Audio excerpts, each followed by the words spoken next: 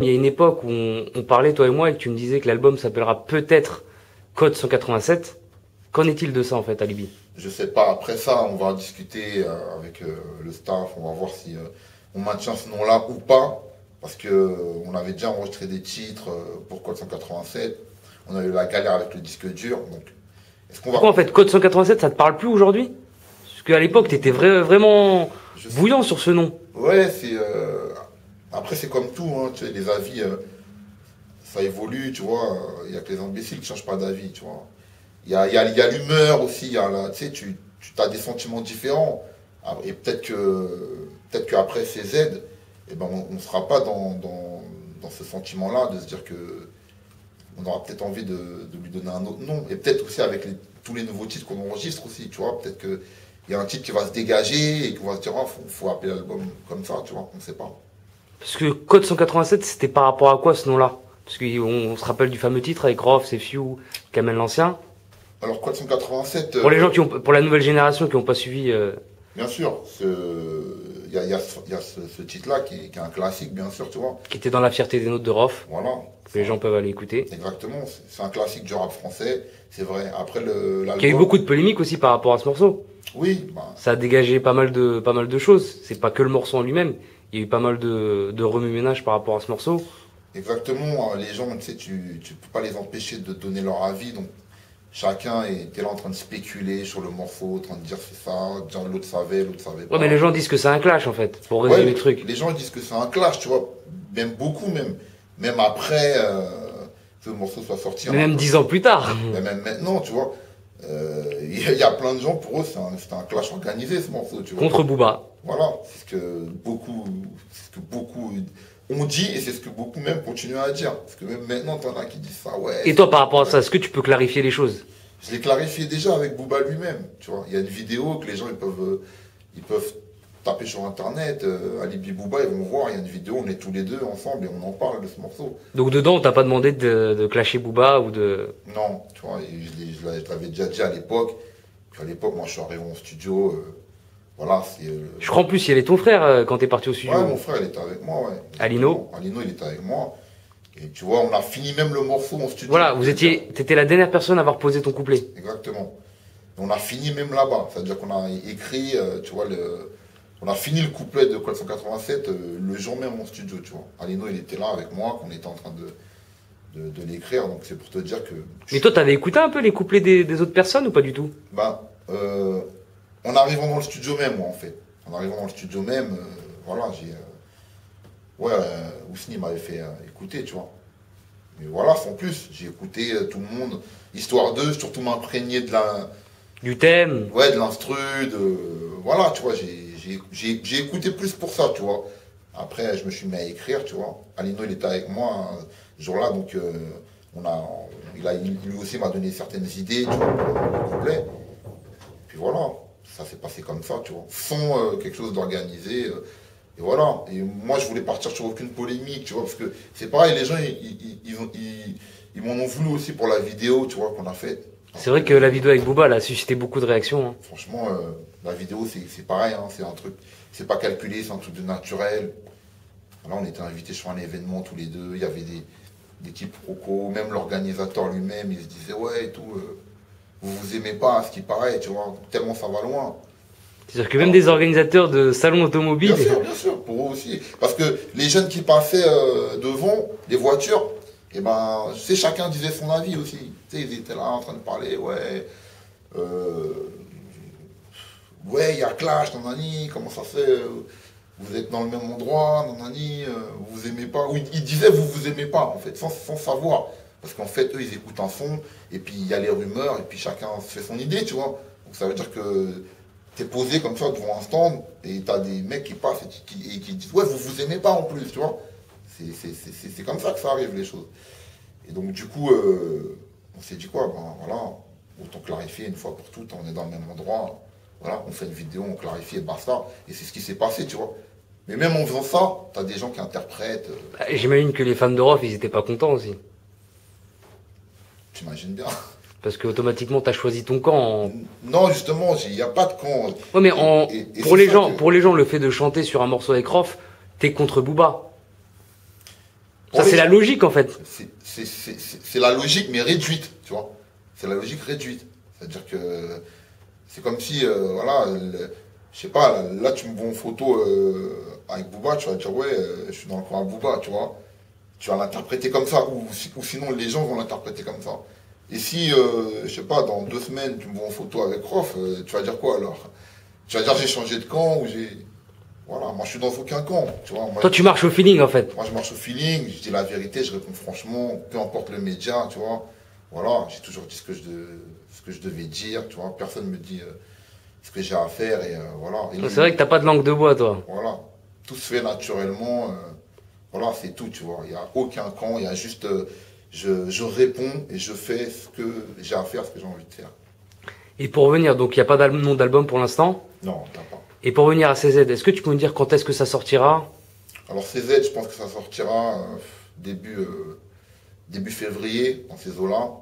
Il faut qu'on ait le temps de tout, euh, de, vraiment être content de tout. Après, il y a déjà quand même un showcase qui est programmé, donc on respectera la date parce que le 31 janvier, on va faire un showcase spécial CZ au Pure Club, donc on respectera la date. Donc tu annonces le 31 janvier, il y aura une date Oui, il y aura une date, ouais, au Pure Club. Hein. les gens ils peuvent y aller, réserver, taper Pure Club et euh, déjà réserver leur place pour euh, ce showcase-là. C'est sûr et certain qu'il y aura. Euh, même si la mixtape sort la semaine d'après, pour nous, c'est pas, pas un problème en fait. c'est pour fêter la, la sortie quoi. Ouais, voilà, pour fêter, voilà.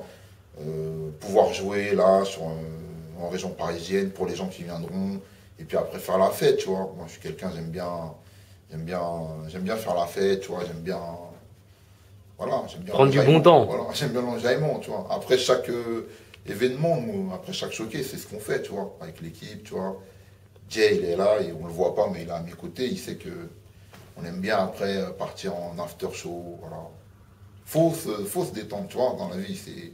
Il faut, tu vois, des fois les gens, le rap, ils sont là, ils se prennent au sérieux de fou, tu vois, c'est euh, une prise de tête après, des fois, ils, oublient que c'est la musique, ils oublient que voilà, on est des êtres humains comme tout le monde. C'est pas parce que tu, tu, fais, tu fais du rap que tu as quelque chose de différent. Tu peux pas t'amuser, que tu peux pas rigoler, que tu peux pas jouer à autre chose, tu vois. Voilà, c'est ce que je disais, un alibi différent. Ouais, je pense que. Parce qu'à l'époque, je me souviens de certaines vidéos, tu étais virulent, etc. Ouais, après, la virulence, ça, sa période aussi. C'était la jeunesse. Après, ça dépend. Je peux parler d'un sujet dans lequel je vais être virulent, tu vois. S'il y a un truc qui m'énerve ou un truc que j'accepte pas, je serais virulent, tu vois. Mais là, je fais l'interview avec toi, la Sinox, il n'y a pas de raison, tu vois, ça se passe bien, on parle franchement. Ouais, j'ai l'impression que depuis Miami, en fait, tu es revenu, même les sons, on, a l'impression que c'est plus cool, etc. C'est dans un autre. Ça dépend, comme je te dis, ça dépend de l'humeur, ça dépend de, tu vois, un, titre comme CZ, euh, c'est un titre sur lequel tu peux, tu peux danser, c'est un titre qui peut passer en club, mais euh, quand tu l'écoutes bien, dedans, il y a beaucoup de choses qui sont très très importantes que je dis, tu vois. Et je l'ai dit même de manière virulente. Après, le flou, il peut changer, mais euh, il y, a, y, a, quand même un, message, tu vois, dans, dans, ces. Tu vois. Il y a certaines personnes, je pense que quand ils ont écouté le titre, qui consentit, ça leur a rappelé des choses, tu vois. Et justement, je voulais revenir un peu sur le décryptage du titre, parce que tu commences le titre avec une phrase assez importante. Mhm. Je te demanderai de la, redire, la phrase, et de nous l'expliquer surtout. Bien sûr. Au, départ, je dis euh, euh, une vidéo sur un site porno et tout, euh, ça, genre, ça, ça suscitait la réaction de la masse, ce qui est vrai. et ça m'a fait, ça m'a fait aussi sourire parce que moi, j'ai fait une vidéo parce que je suis un mec, déjà, j'ai de l'humour. Et, et j'aime bien, tu vois, jouer aussi devant la caméra sans être obligé de rapper, tu vois. D'ailleurs, c'est pour ça que j'ai fait un film qui s'appelait Dans le dos, tu vois. Avec Poison euh, avec, Poison, avec l'équipe de Bouddha Film, tu vois. Et euh, avec lequel j'ai fait, fait, un autre film aussi d'ailleurs, mais qui n'est pas encore sorti, tu vois, qui s'appelle Mercel. Et voilà, je suis quelqu'un qui, euh, voilà, qui, aime bien ça, tu vois, jouer avec la caméra, tu vois, même si je ne tourne pas un clip. Et, et, donc cette vidéo-là, j'ai vu ce qu'elle a suscité. Voilà, juste pour résumer, tu as fait une vidéo sur le site Jackie et Michel. Ah, exact. Avec Cindy Lopez. Avec Cindy, ouais. c'est une vidéo qui a suscité beaucoup de réactions et qui a été reprise par pas mal de sites. Voilà, alors que la vidéo, j'ai fait le parallèle avec, euh, avec Boublil, parce que, et même dans la vidéo, tu vois, à un moment, je dis aux gens, ouais, je vais vous mettre dans le coffre comme j'ai fait euh, à Max Boublil, tu vois, parce que je trouvais que c'était marrant, tu vois, et moi, ça me, faisait, ça me fait rire, tu vois. Je suis un mec, j'aime bien, j'aime bien rire, même avec mes potes, j'aime bien des fois on se taille et tout ça.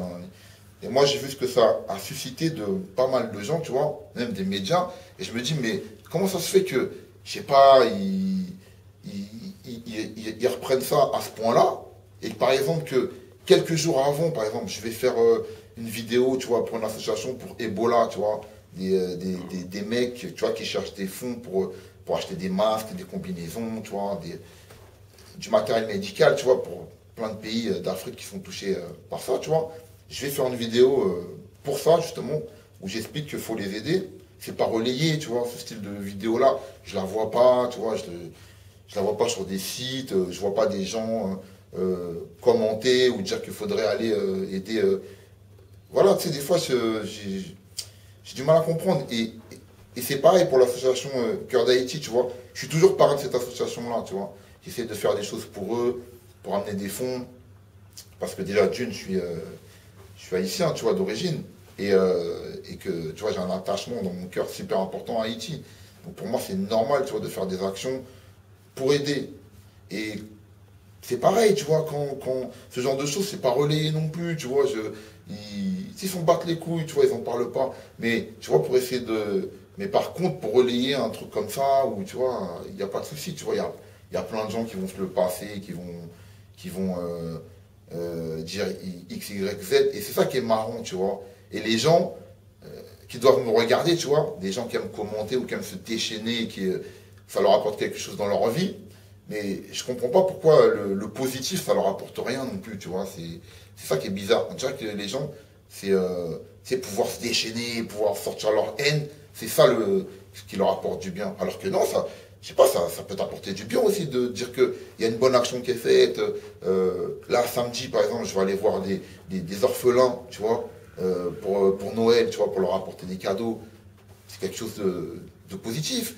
Tu vois, mais si ça n'intéressera pas les gens, tu vois, ils vont pas relayer, oui, c'est les orphelins de, Colombes, euh, ils vont recevoir des cadeaux ce jour-là, Alibi sera là pour eux. Si ça les intéresse pas, ils font battre les couilles. Mais euh, un truc euh, ils peuvent dégager de la haine, tu vois, ça va les intéresser. Ou par exemple, ils vont jamais dire, ouais, t'as vu son, son, morceau, il tourne pas à son playlist sur les radios, son clip, il est pas à son playlist sur les radios. Si ça les intéressera pas, il y a personne qui milite pour ça. Mais par exemple, tu vois, pour, pour, pour de la haine et tout, gratuite, et eh ben, je sais pas, je sais pas combien de personnes. Et c'est pour ça que tu te dis, mais en fait, euh, le, ce qui les aide dans leur vie, euh, tous ces gens-là, c'est ça. Après, chacun son truc, hein, tu vois. Et toi, tu l'assumes cette vidéo? Bien sûr, sinon je l'aurais pas faite. J'assume tout ce que je fais. Et pour revenir en fait sur cette phrase, en fait, tu veux dire que la vidéo, elle fait tellement parler qu'on oublie des fois le sens positif? Ce que je veux dire, c'est que euh, on peut mettre l'accent sur une vidéo comme ça, ça me dérange pas, tu vois. Ça me dérange pas. Mais c'est peut-être parce que t'es rappeur, c'est peut-être pour ça que ça dérange. Ouais, mais. Peut-être qu'un rappeur, il a rien à faire sur ce style de vidéo ou ce genre de site. Non, mais je suis rappeur, euh, pourquoi on relaye pas aussi. Euh, donc pourtant, un rappeur, ça doit pas non plus aider euh, des associations ou bouger pour Ebola. si, bien sûr.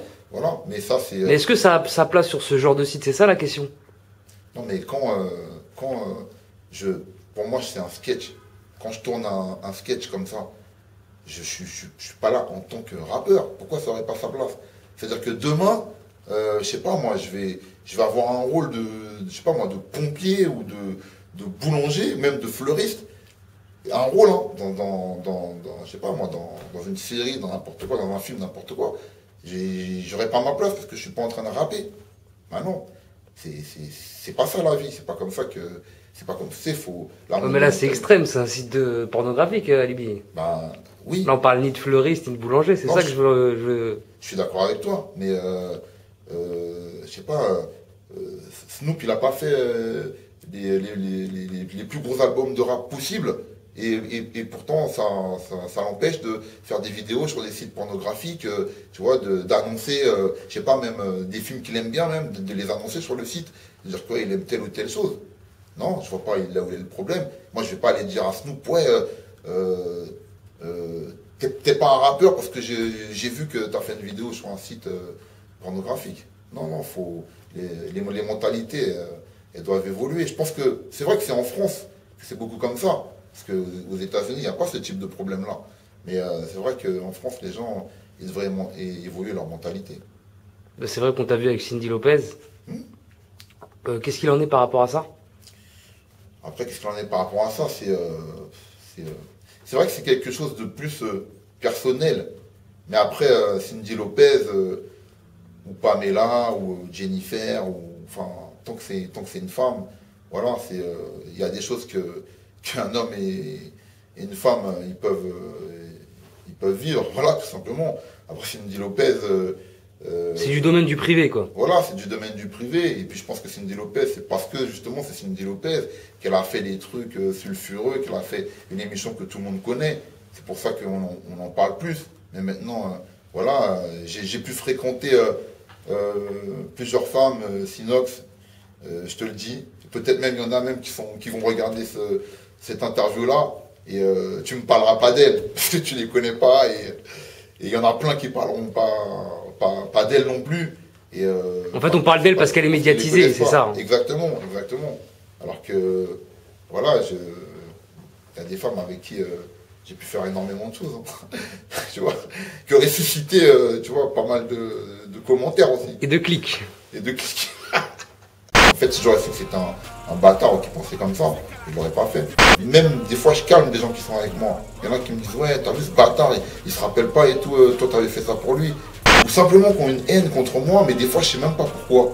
À un moment je dis, je dis Daoud Bouscapé, j'en ai tellement aidé, je peux pas tous les compter. Mais dans ces époques-là, Bouscapé, euh, c'était pas le Bouscapé de maintenant. Je pense que même Daoud, Toto Marcel, si euh, il, serait mort bien les choses, il va, il va se rappeler que, que je pense que je fais partie des premiers rappeurs qui m'ont permis de, rentrer dans des, euh, endroits où il y a la lumière quand même.